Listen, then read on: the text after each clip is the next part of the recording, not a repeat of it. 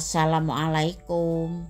Hari ini dapur tomat cherry akan memasak Ikan pindang bumbu kuning yang rasanya enak banget. Bikin boros nasi. Bahan-bahannya 3 ekor ikan pindang salem yang sudah tak belah jadi dua dan tak buang isi perut dan kepalanya dan tak cuci bersih. 500 ml air satu bungkus santan instan ukuran 65 ml bumbu-bumbu yang akan dihaluskan.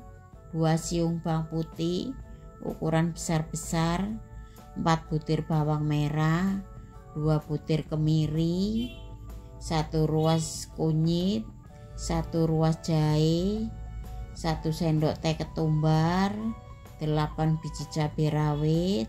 2 biji cabai merah untuk bumbu tambahannya 3 buah belimbing wulu yang sudah diiris-iris 15 biji cabai rawit 3 lembar daun salam 1 ruas lengkuas yang sudah dikeprek 1 batang serai yang sudah dikeprek garam, gula, dan kaldu bubuk secukupnya. Langkah pertama kita haluskan dulu bumbu-bumbunya. Kita masukkan ketumbar bawang merah bawang putih, kemiri, kunyit, jahe, cabai rawit, cabai merah. Tambahkan air secukupnya dan ini kita blender. Ini bumbunya sudah halus, kita sisihkan dulu. Sekarang kita goreng ikan pindangnya. Ini minyaknya sudah panas. Kita kasih tepung dulu minyaknya supaya minyak enggak menjebrot-jebrot kita masukkan ikan pindangnya. Kita goreng sampai matang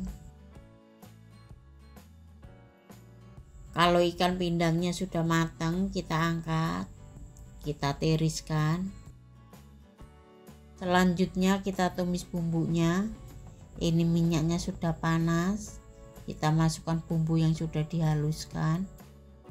Lalu kita masukkan serai lengkuas daun salam. Kita tumis bumbunya sampai matang dan tanah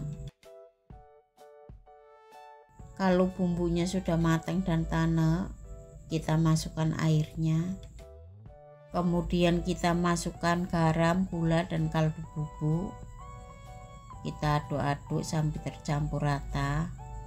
Kita tunggu airnya mendidih baru kita masukkan bahan lainnya ini airnya sudah mendidih kita masukkan ikan pindang yang sudah digoreng tadi.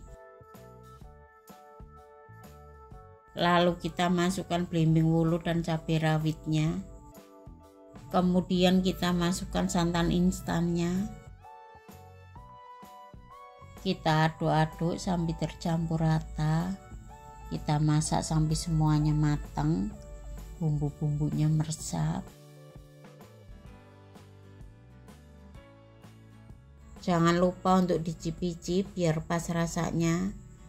Kalau rasanya sudah pas, sudah enak, kita matikan kompornya. Ikan pindang bumbu kuning sudah matang dan ini siap kita sajikan. Nah, ini dia ikan pindang bumbu kuning sudah matang. Ini rasanya benar-benar enak banget. Sedap, gurih, pedas bikin boros nasi pokoknya bener-bener mantul pol. Dan monggo resepnya untuk dicoba. Terima kasih sudah menonton video ini. Semoga bermanfaat. Dan jangan lupa untuk like komen dan subscribe. Wassalamualaikum